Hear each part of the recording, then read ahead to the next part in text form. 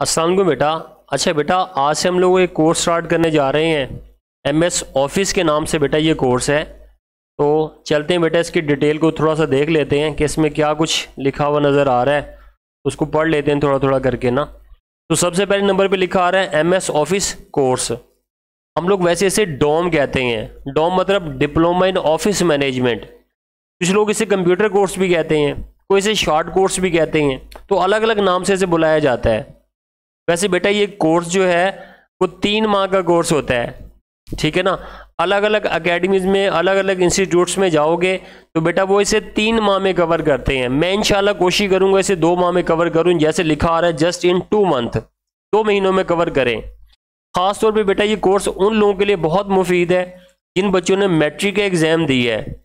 अभी जब तक रिज़ल्ट नहीं आ रहा, वो फ्री हैं फ्री रहने से बेहतर है, बेटा कोई स्किल सीखें, आप इस कोर्स को कर लो। ये कोर्स आगे बहुत सारी जगहों पर आपके काम आ सकता है। आप चाहे स्टूडेंट हैं या फिर आप कोई जॉब करना चाहते हैं पार्ट टाइम तब ये बेटा आपके काम आ जाएगा। या और भी आगे चल के ज़िंदगी में भी काफ़ी जगहों पर ये आपके काम आ सकता है, वो इस कोर्स को कंप्लीट करके जाए। बाकी इसमें एम एस वर्ड है, जिस पे हम लोग बात करेंगे। एम एस एक्सेल है पावर पॉइंट है इन पेज है। और इंटरनेट के कुछ बेसिक्स हैं जिस पे हम लोग बात करेंगे। जैसे गूगल क्या है? गूगल पे डेटा सर्च कैसे करेंगे? अपने ईमेल अकाउंट कैसे बनाएँगे? वैसे ही बेसिक चीज़ें बच्चों को मैक्सिमम पता होती हैं। तो बहरहाल मैं कोशिश करूँगा इन्हें समझाने की। नेक्स्ट यहाँ पर है टाइपिंग इन उर्दू और टाइपिंग इन इंग्लिश ये थोड़ा सा ख़ास है। अक्सर का जब जॉब आती है, वो बेटर टाइपिंग पूछी हुई होती है। तो यहाँ पर मैं लिखा forty five plus W P M मतलब वर्ड पर मिनट यानी पैंतालीस अल्फाज से ज़्यादा की स्पीड से इंशाल्लाह आप लोग टाइप करोगे। अगर ये पूरा कोर्स आप लोग कवर करते हो तो। मज़ीद ये कि आप इस कोर्स को करने के बाद कर क्या सकते हैं। पहली बात तो जैसे कि मैंने आपसे कहा कि एज अ स्टूडेंट आपके ये आगे चल के काम आएगा। फिर ये कि अगर आप पार्ट टाइम जॉब करना चाहते हैं तो दो, तीन, चार घंटे की आप बेटा आसानी से कर सकते हैं। कहाँ जॉब कर सकेंगे? अब वो चाहे कोई शॉप है, चाहे वो कोई ऑफ़िस है, चाहे वो कोई बैंक है, चाहे वो कारखाना है, चाहे वो फैक्ट्री है या कोई क्लिनिक है, या कोई हॉस्पिटल है, या कोई कॉलेज है, या कोई स्कूल है, आसपास जितने भी आपको इदारे मिलते हैं, बेटा आप सभी के ऊपर एज आ कंप्यूटर ऑपरेटर आप अप्लाई कर सकते हो। बहुत सारे चांसेस हैं आपको जॉब मिलने के। वो किस हद तक जॉब मिल सकते हैं? तो मैं अक्सर कहता हूँ, बेटा, पंद्रह हज़ार से लेकर तीस हज़ार तक, पंद्रह हज़ार, बीस हज़ार, पच्चीस हज़ार, तीस हज़ार, ये अब आपके ऊपर डिपेंड करता है कि आप किस इदारे को जाके अप्लाई करते हो, कहाँ आप जॉब करना चाहते हो, और प्लस आपकी स्किल कितनी है, कितना आप सेटिस्फाई किया आपने उन्हें, उस हिसाब से आपकी बेटा सैलरी सेट हो जाएगी। तो मेरी कोशिश रहेगी बेटा कि आप इस कोर्स को पूरा होते होते इस काबिल हो जाएँ कि आप जाकर जॉब के लिए अप्लाई कर सकें। मज़ीद ये कि बेटा डेटा एंट्री के लिए फ्री लांसिंग की बहुत सारी जगहों के ऊपर आप सुन रहे होंगे कि डेटा एंट्री की जॉब्स हैं जी। तो अगर ये कोर्स आप पूरा करते हो देन आप वहाँ से जाकर बेटा डेटा एंट्री का काम भी कर सकते हो। ठीक हो गया? तो ये थोड़ा सा कोर्स के बारे में था। अब चलते हैं बेटा, देखते हैं आज हमें कवर क्या करना है। तो सबसे पहले नंबर पे एक तस्वीर है, यहाँ पर नज़र आ रही है। ये कीबोर्ड बना हुआ आ रहा है। ठीक है ना? इस कीबोर्ड को देखो तो यहाँ लिखा रहा है F one F two F three and so on F twelve तक। तो एफ़ वन से लेकर एफ़ ट्वेल्व तक इन्हें हम कहते हैं फंक्शनल कीज फंक्शनल कीज अलग अलग सॉफ्टवेयर में अलग अलग फ़ंक्शन हो सकते हैं, उनके लिए बेटा ये कीज होती हैं इसके बाद ये बड़ा सा हिस्सा नज़र आ रहा है, इसे हम कहते हैं मेन की पैड या मेन कीबोर्ड ठीक है ना? ये मेन की पैड हम इसके कवर करेंगे इनशाला कि ये बटन करते क्या है। अभी मैं सिर्फ़ नाम बता रहा हूँ। ये हमारी एफ़ वन से एफ़ ट्वेल्व तक फंक्शनल कीज हैं। ये हमारा मेन की पैड है।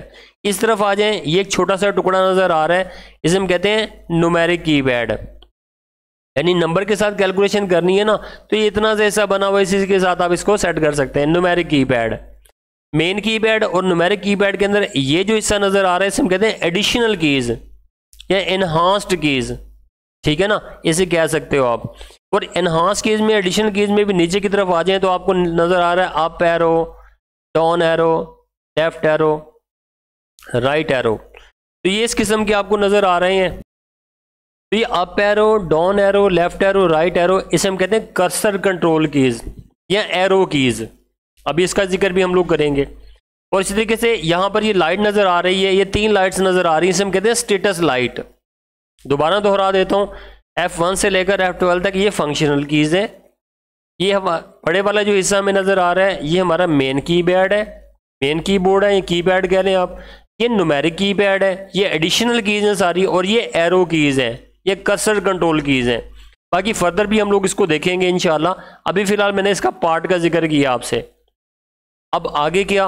आगे ये देखो मेरे पास लिखा रहा है माइक्रोसॉफ्ट वर्ड इस पर दो दफ़ा क्लिक करते हैं। ये देखो, यहाँ पर चल जाएगा, ये देखो चल गया है। सही है? तो आप कैसे चलाएँगे? अगर आपके पास ये इंस्टॉल है डेस्कटॉप पे तो आप इस पर क्लिक करके चला सकते हैं। डब्ल्यू लिखा नहीं तो यहाँ से आके आप इसे सर्च कर लेंगे।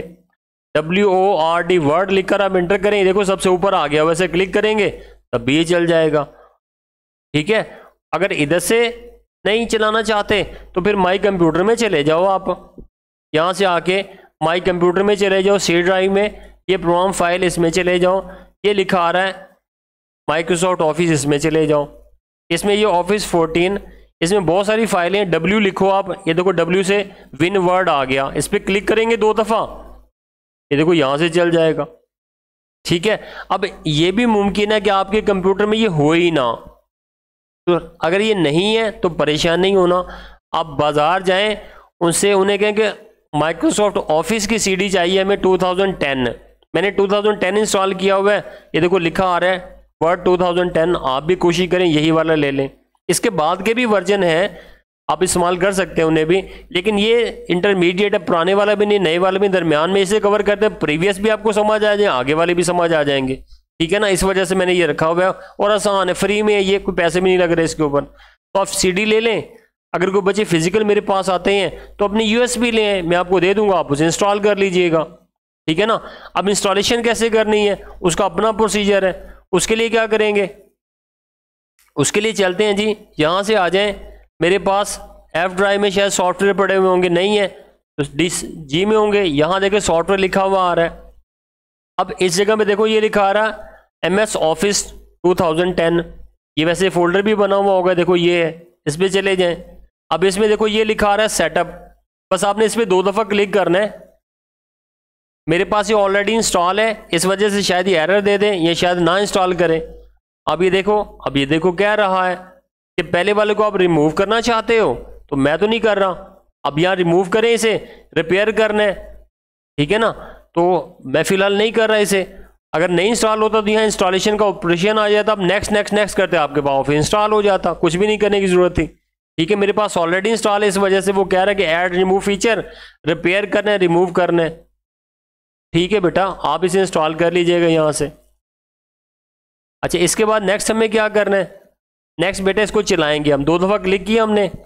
यहाँ आ गए। अब आपके पास, आपको पता है माउस है। ये देखो माउस है अब इस पर दो या तीन बटन होंगे। लेफ़्ट है राइट है मिडल है। तीन बटन इस पर बने हुए नज़र आ रहे हैं। अब लेफ़्ट बटन का क्या काम होता है? ये देखो क्लिक करें, किसी भी आइकॉन को ये सिलेक्ट हो रहा है। और राइट क्लिक करेंगे, छोटा सा मेन्यू नज़र आता है। इसे हम कहते हैं शॉर्ट मेन्यू यहाँ क्लिक करेंगे, यहाँ अलग नज़र आएगा। इस पर क्लिक करेंगे, इस पर अलग नज़र आएगा। इस पर क्लिक करेंगे, इस पर अलग नज़र आएगा। इस पर क्लिक करेंगे, इस पर अलग नज़र, ये अलग अलग नज़र आता है। इसे हम कहते हैं short menu pop up menu परेशान नहीं होना कि इतने सारे मेन्यूज को हम याद कैसे करेंगे? याद नहीं करना आपने इसे। वो अलग अलग ऑप्शन खुद ब खुद आ जाएँगे आहिस्ता आहिस्ता आप लोगों को। ठीक है ना? तो आपने क्या करना है? यहाँ आ जाएँगे।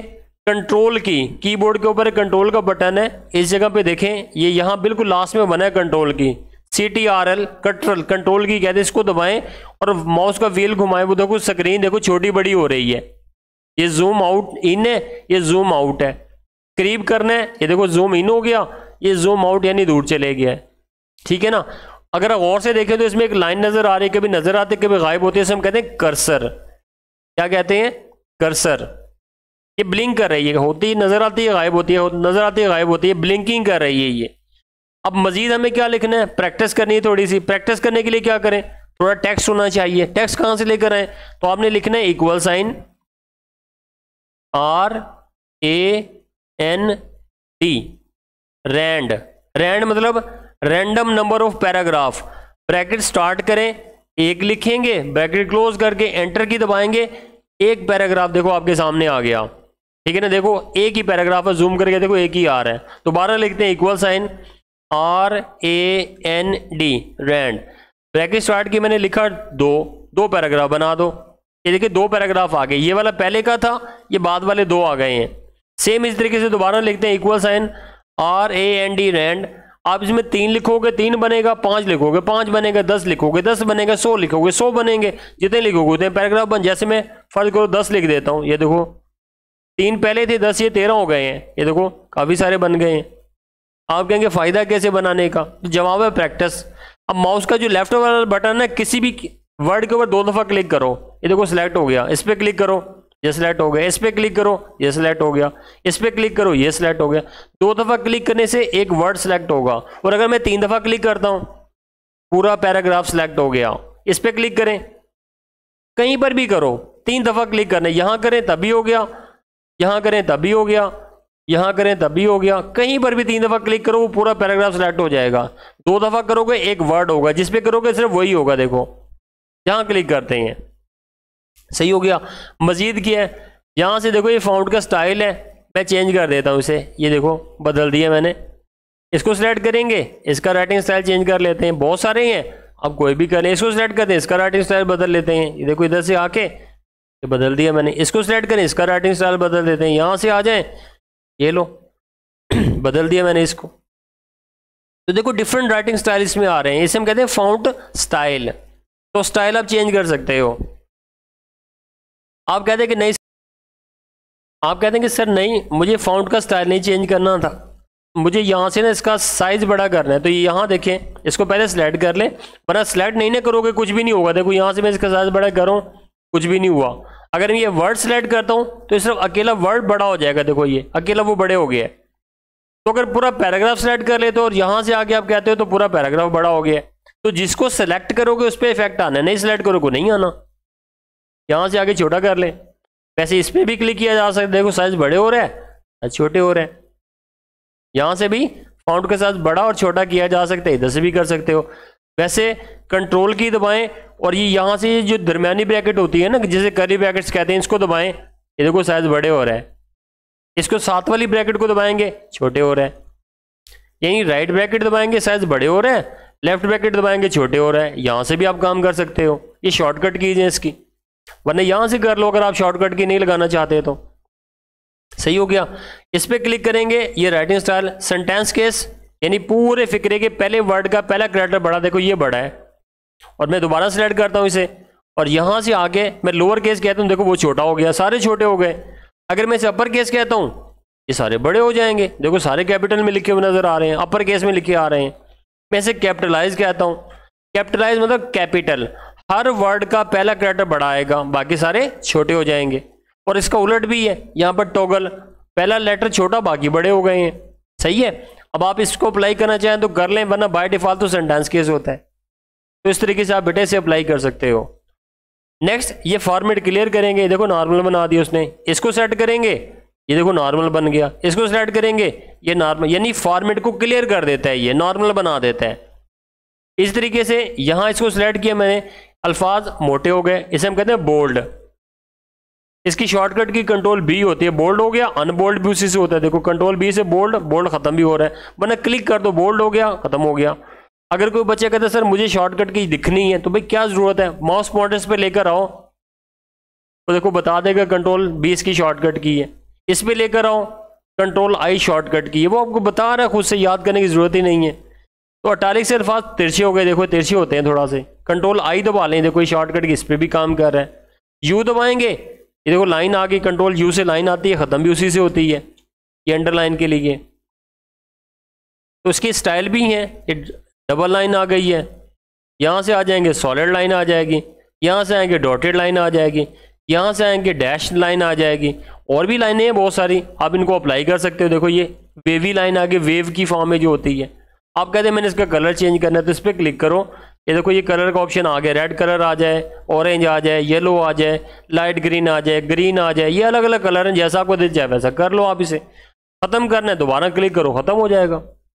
ये स्ट्राइक थ्रू है। अब स्ट्राइक थ्रू का क्या करना है हमें? जैसे फ़र्ज़ करो, यहाँ पर लिखा आ रहा है डॉलर डॉलर का साइन डालना था मैंने डॉलर और मैंने लिखा two hundred dash dollar symbol one fifty ठीक है ना? अब ये 200 को मैं काटना चाहता हूँ तो इसको सिलेक्ट करके ना, इस पर क्लिक कर दो। ये स्ट्राइक थ्रू कर देगा, जैसे कटा हुआ होता है। कि 200 नहीं 150 सही हो गया? तो स्ट्राइक थ्रू का मतलब ये हो गया। सेम इसी तरीके से, मैंने लिखा यहाँ पर टेन एक्स की पावर फाइव प्लस 20 एक्स की power four minus thirty X की पावर 3 मैं इसको जूम कर लेता हूँ थोड़ा सा ना। साइज़ भी बड़ा कर सकते हो आप यहाँ से। जूम करना ज़रूरी नहीं। देखो, बड़े साइज़ हो गया। अब मुझे बताएँ, ये लिखा आ रहा है टेन एक्स की पावर फाइव तो जवाब है नहीं। ये तो नहीं लिखा आ रहा नज़र। तो फिर क्या करें? इसका साइज़ इसको सेट करना है हमें। तो ये देखो पावर बनाने के लिए सुपर स्क्रिप्ट सुपर स्क्रिप्ट मतलब पावर बना दो। अभी लग रहा है टेन एक्स की पावर फाइव है। जबकि ये तो नहीं लग रहा। इसके लिए फिर क्या करेंगे? ये लो पावर बना दो। इसके लिए क्या करेंगे? ये लो पावर बना दो। ठीक हो गया, दोबारा क्लिक करोगे, वो पावर ख़त्म हो जाएगा। तो शॉर्टकट की भी होती है। कंट्रोल शिफ्ट और प्लस का बटन देखो, ये पावर बना रहा है। ऐसे इसके ऊपर भी लेंगे तो वो बता ही देगा शायद आपको शॉर्टकट की। वो देखो, बता रहे कंट्रोल शिफ्ट और प्लस का बटन एक साथ दबाएँगे, वो बना देगा उसको। ठीक है ना? इसी तरीके से ख़त्म करना तो कर लें आप इसे ख़त्म। नेक्स्ट आपने पढ़ा होगा कहीं पर एच कैपिटल लिख देता हूँ एच टू ओ अब एच टू ऐसे लिखा जाता है तो शायद जवाब है, नहीं, ऐसे नहीं लिखा जाता। टू को थोड़ा सा नीचे करके लिखते हैं हम लोग। तो ये हमारे पास बेस में ले जाएगा इसे। इसे हम कहते हैं सब स्क्रिप्ट वो सुपर स्क्रिप्ट था पावर के लिए। ये है subscript script superscript subscript सही हो गया? तो ये इस तरीके से है। तो फ़िलहाल, आज बेटा इतनी ही क्लास मैंने पढ़ाई थी। इसको मैंने रिकॉर्ड कर दी। हाँ टाइपिंग ट्यूटर की भी बात की थी। मेरे पास ये लिखा आ रहा है ए एस टी ए मतलब एडवांस स्पीक टाइपिंग ट्यूटर आपको इससे अच्छे अच्छे टाइपिंग ट्यूटर मिल जाएँगे। मैं नहीं कहता कि यही वाला करें, आप वो कर सकते हो, लेकिन मैं इसको प्रेफर कर रहा हूँ क्योंकि ये सिंपल सा है। इसके अंदर लेक्चर जो लेसन बड़े ज़बरदस्त बने हुए हैं। आसानी के साथ हम इसे सीख सकते हैं। हम नेट से डाउनलोड करना कर लें, वरना मैं व्हाट्सअप कर दूँगा आप लोगों को। जो जो बच्चा इस कोर्स को करना चाह रहा है ऑनलाइन कर रहा है या ऑफलाइन मुझे मैसेज कर देना कि जिसका मैसेज आएगा, मैं उसे ये सेंड कर दूँगा। ठीक हो गया? तो चलें बहरहाल एक दफ़ा मैसेज कर दो, मैं उनकी लिस्ट भी बना लूँगा उन सारे बच्चों की, और फिर क्या करेंगे? साथ ही आपको मैं भेज भी दूँगा। तो चलें बहरहाल, इस पर राइट क्लिक करें एक्सट्रैक्ट हेयर करें। अब ये येलो कलर का एक फोल्डर बन जाएगा, इसमें देखो ये बन गया हुआ है। इस पर भी ए एस टी लिखा आ रहा है। Advance speed typing A S T मतलब एडवांस स्पीड टाइपिंग जब इस पर क्लिक करेंगे, इसके अंदर चले जाए इस पर भी लिखा आ रहा है ए एस टी ट्वेल्व इस पर दो दफ़ा क्लिक करो। अच्छा। ये इसके ऊपर तो खैर कंपेटेबल नहीं माना इसने जिप सही नहीं हुआ। तो चले मैं एक काम और कर लेता हूँ। रन एज एडमिनिस्ट्रेटर रन करके देखते हैं कि चलाता है। इसके ऊपर भी इसने नहीं चलाया हुआ। चलो खैर, मैं इसको देखूँगा और दूसरे पीसी पे या फिर दोबारा से इसे कॉपी करके लेकर आकर इसे चला लेंगे। चले बहरहाल, नहीं आ गया ऑप्शन ठीक है ना? तो रन एनी वे पे क्लिक किया मैंने यस किया। ये रन हो जाए, देखो रन हो गया हुआ है। तो अब आपने क्या करना है? बिगेन पे क्लिक करना है। यहाँ अपना नाम लिखेंगे, जैसे मैंने लिखा हुआ है। Okay lesson lesson number one और यहाँ से आकर, ये देखो, ये एक्सरसाइज नंबर वन आ रहा है। सही हो गया? तो इसमें देखो, यहाँ पर दोबारा बंद करके चलाते हैं इसे। तो इसको एक्सट्रैक्ट करेंगे। यहाँ पर ये आ गया है। अच्छा जब आप इसे एक्सट्रैक्ट करते हैं ना, यहाँ ऑप्शन आ रहा है एक्सट्रैक्ट हेयर अगर आपके पास ये नहीं आ रहा है तो उसका मतलब विन आर आर के नाम से एक सॉफ्टवेयर होता है, वो आपके पास इंस्टॉल नहीं है। वो भी मुझे मैसेज कर देना, मैं तुम्हें सेंड कर दूँगा। ठीक है ना? वो इंस्टॉल करेंगे, पहले फिर ये ऑप्शन आएँगे। उसके बाद इस पर क्लिक करेंगे। ये ए एस सी ट्वेल्व पे जाएँगे, या फिर राइट क्लिक करो। ये लिखा रहा है सेंड टू डेस्कटॉप अब डेस्कटॉप का मतलब ये स्क्रीन ये देखो, ये बनकर आ गया हुआ इसका शॉर्टकट इस पर दो दफ़ा क्लिक करेंगे, ये यहाँ से भी चला देगा। Begin typing okay lesson lesson number one और इसको नीचे ले जाएँ। ये लिखा आ रहा है exercise number one home rows. अब क्या करेंगे? अगर गौर से देखा जाए तो यहाँ लिखा आ रहा है ए एस डी एफ़ अपने दोनों हाथ सीधे करें, अंगूठे नीचे कर लें ऐसे। इस वाली फिंगर से स्टार्ट करेंगे ए एस डी एफ़ इसे स्टार्ट करेंगे semicolon L K J या जे के एल सेमी कॉलन इस दोनों हाथों की फिंगर को ना लेफ़्ट वाले हैंड से स्टार्ट करेंगे, छोटी फिंगर से A S D F A S D F A S D F इसको याद करेंगे। दो मिनट, तीन मिनट, पाँच मिनट, दस मिनट, जितना टाइम लगे इसे याद करेंगे। इस तरीके से इस वाली फिंगर्स को भी। जब ये याद हो जाए कि दोनों अंगूठे जो है ना स्पेस बार पे, ये जो बड़ा सा बटन होता है ना, ये वाला, ये स्पेस बार होता है। इस पर रखेंगे। एक दफ़ा स्पेस बार दबाओ। ये देखो डिब्बा बनकर आ गया इसके ऊपर क्या लिखा रहा है? एफ़ तो मैं लिखता हूँ एफ़ फिर एफ़ फिर एफ़ स्पेस यानी बड़ा button. J J J space F F F space J J J space दो दफ़ा स्पेस दब गया, गलती हो गई। वो स्टार का मतलब मिस्टेक है। और भी दबा के देखेंगे, गलती हो जाएगी। तो चलें F F space J J J space J F J J F J F J F F J F J F J F J F enter दबाएँगे D D D K K K D D D ऐसे बेटा आप इसको type करते जाओगे। कितना type करना है? ये जो चार लाइनें नज़र आ रही हैं ना, सारों को टाइप करना है। ठीक है? ये लें टाइप किया मैंने एस एस एस फिर एल एल आ गया, फिर एस एस आ गया, फिर एल एल आ गया, फिर एस एस आ गया। ऐसे आप इसको टाइप करते जाएँगे। ये देखें मैंने गलत टाइप कर दिया। उलट बटन दबा दिए और मिस्टेक हो गई हैं। तो चलो, अच्छी बात है, नज़र आ गई आपको मिस्टेक तो बेटा, आपके पास चार लाइन है, चार मिस्टेक कर सकते हो। मैंने चार कर दी है, इसका मतलब सही नहीं हुआ ये। ऐसी बात नहीं है। हम टाइपिंग कर सकते हैं, लेकिन बहरहाल स्टार आपको दिखाने थे, वो हो गए हैं। तो चार स्टार आप, यानी चार मिस्टेक हो गई, कोई इशू नहीं है। चार से ज़्यादा हो गई। आप ये स्कैप कोने वाला एक बटन होता है, इसे हम कहते हैं ई एस सी स्कैप इसे दबाएँगे। स्पेस बार को दबाएँगे, देखो फिर स्टार्ट हो गया होगा लेकिन बेटा ये पूरा लेसन चार लाइनें होने के बाद करना है, दरमियान में नहीं करना। वरना ये लेसन कभी ख़त्म ही नहीं होगा, हर दफ़ा आप दोबारा स्टार्ट कर लेंगे। इसे कंप्लीट करना है, फिर स्टार्ट करना है। और दूसरी बात ये कि हाथ पूरा रख के टाइप करना है। ये नहीं कि पहली लाइन में देखो एफ़ और जे है, एक लाइन एक फिंगर रखी एफ़ पर, एक रखी जे पे दबाए जा रहे हैं लाइन लाइन पूरी। दूसरी लाइन पे ऐसा नहीं करना, पूरा हाथ रख के टाइप करना है आपने। तीसरे नंबर पे स्पीड की ज़रूरत नहीं है, कि मैंने बहुत स्पीड से टाइप करके ज़रूरत नहीं है भाई। अभी हमें सिर्फ़ टाइपिंग सीखनी है कि हमारी फिंगर को पता चले कौन सा बटन कहाँ है। मेरी बात समझ आ रही है? तो बेटा ये आज मैंने यहाँ तक बच्चों को पढ़ाया है, मैंने इसकी क्लास रिकॉर्ड कर दी है, मैं वीडियो सेंड कर रहा हूँ आप लोगों को, इसको देख लें। अगर कोई परेशानी होगी तो कल इंशाल्लाह दोबारा बात करेंगे। ठीक है बेटा? हाफिज़।